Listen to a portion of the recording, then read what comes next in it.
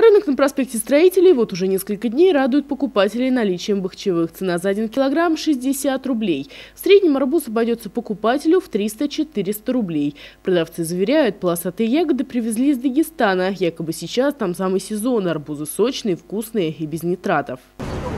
Привезли, продаем. Пока арбуз очень качественный, сладкий. Без химии, без ничего. Арбузы в начале июля у покупателей уже давно удивления не вызывают. Кроме того, пользуются спросом. В день на одной точке удается продать по нескольку десятков арбузов.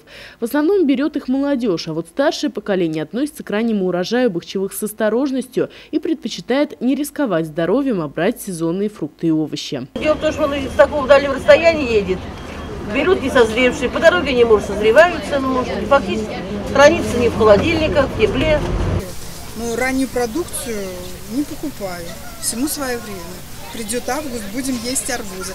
А сейчас едим черешню, абрикосы. На рынке на проспекте Строителей ни один продавец не смог нашей съемочной группе предоставить документы на товар. А это грубейшее нарушение. Продавать арбузы без заключения ветеринарного контроля запрещено. У продавцов должны быть документы, подтверждающие качество и безопасность. За их отсутствие продавец может поплатиться рублем и попрощаться со своим товаром. Только в прошлом году Роспотребнадзор изъял у владимирских торговцев 400 килограмм килограммов арбузов. А еще по Санпину запрещено продавать арбузы в разрезанном виде. Надзорное ведомство держит на особом контроле продажу бахчевых. Ведь случаи отравления арбузами регистрируются в нашей области каждый год. Ранние арбузы мы не рекомендуем детям так как э, даже небольшое количество нитратов может привести к отравлению ребенка, так как организм его еще недостаточно сформирован.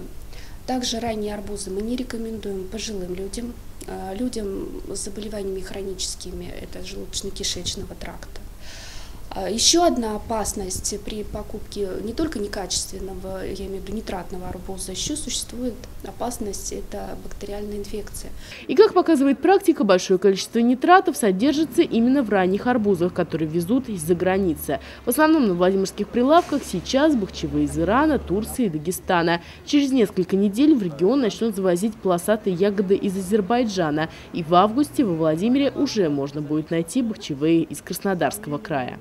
Говорят, чтобы выбрать вкусный арбуз, совершенно не обязательно его разрезать на прилавке. Достаточно просто на него внимательнее посмотреть. Корка должна быть ярких, контрастных цветов, а хвостик должен быть хорошо подсушенным. Впрочем, специалисты Роспотребнадзора не рекомендуют этими советами воспользоваться сейчас. Достаточно подождать до середины августа. По крайней мере, в это время покупать полосатую ягоду будет куда безопаснее. Ирина Шульга, Артем Карпов, телеканал «Вариант».